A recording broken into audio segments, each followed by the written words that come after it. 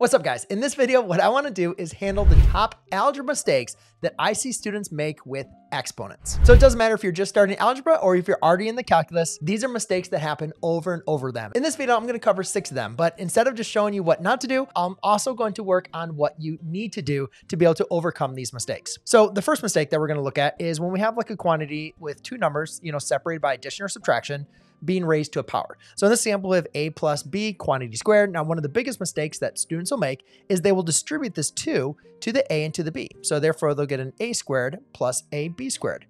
Do not do that, okay? Remember, a plus b squared, what this means is going to be an a plus b times an a plus b. And what that means is we need to now go ahead and apply our FOIL, right? So a times a, a times b, b times a, and b times b, or the distributive property, basically multiplying everything times everything. So when we do that, what we're now going to get is an a squared plus AAB plus aba plus ab squared. And now these two terms, doesn't really matter. We can just go ahead and combine them together because it doesn't really matter the order that they're being multiplied, right? Four times three is the same as three times four. So therefore I get an a squared plus a two ab. We can combine those together plus a b squared. So that is the correct version. Do not do a squared plus b squared. This is a lot more work. I think that's where a lot of times students will make the mistakes that they want to work too fast, but you do need to make sure you expand it out. Okay, now the next example is basically kind of similar to what we just did. Um, but now it's going to be when we have an exponent being raised to a power. And again, a lot of times students will do is they'll confuse this with the other properties of exponents, basically the product property, which means we're going to add our two powers. So they'll see a cubed um, raised to the second power, and they say, oh, that's going to be an a to the fifth power.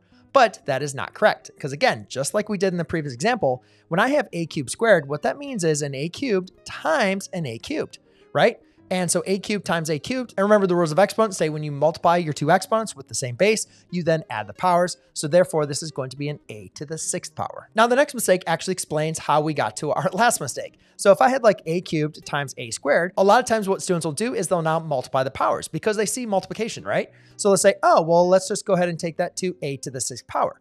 But no, that is not correct. If you remember in the previous example, when we multiply exponents, we add the powers, okay? And the reason why that works is, again, you can just kind of rewrite a cubed times a squared, right? I can rewrite a cubed as an a times a times a, and that's gonna be times an a squared, which is a times a.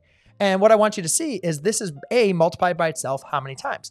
Five times. That's why we can just simply add the powers to get to our answer. Now, another mistake that students will make when we have our power is let's say we have two times a cubed, again, squared right? And now what they'll do here is they'll say, well, remember, I remember the power rule, right? When I have a cubed squared, that's going to be a 8 to the 6th power. So then they'll just say, well, this is now going to be a 2 a to the sixth power. And they got it partially right. But it's very important that when you have a, an expression that's separated by multiplication, you need to raise each and every one of those terms to that power, right? So this is not going to be correct. Basically, what you need to do is, again, just kind of think about this. A 2a cubed is a 2a cubed times a 2a cubed. It's so important to recognize that is what the power is providing is repeated multiplication. So now when I'm multiplying this, I have 2 times 2, which is going to give me a 4.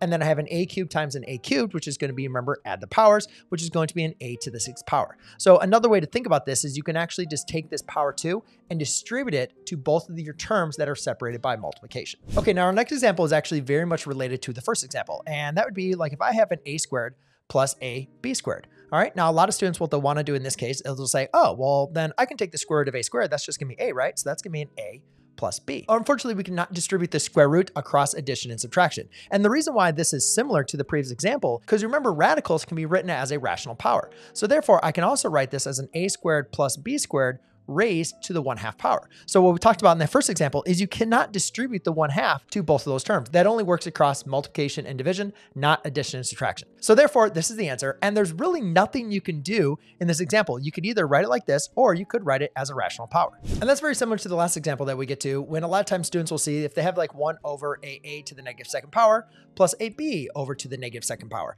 And a lot of times what students will say is they remember, oh, when you have a negative power, you just rewrite it as its reciprocal, right? So they say, oh, well, that's the same thing as an a squared plus a b squared. And no, unfortunately, that does not work because you notice that the a and the b are both in the denominator and they're separated by addition. So the only thing we really could do in this case, we could rewrite them as individual fractions. I could rewrite this as a 1 over a and then over here as a 1 over b. But if I wanted to go ahead and simplify this, it's going to get a little bit more dicey. And that would basically just be my simplified form. Now you notice it's a fraction. And guess what? Students make mistakes on fractions all the time. Students hate fractions. So in my next video, that's exactly what I want to handle. The top algebra mistakes that students make with with fractions. Go and check out that video now. And if you want more resources or more examples, go and check out the playlist and information I have for you down below. Cheers.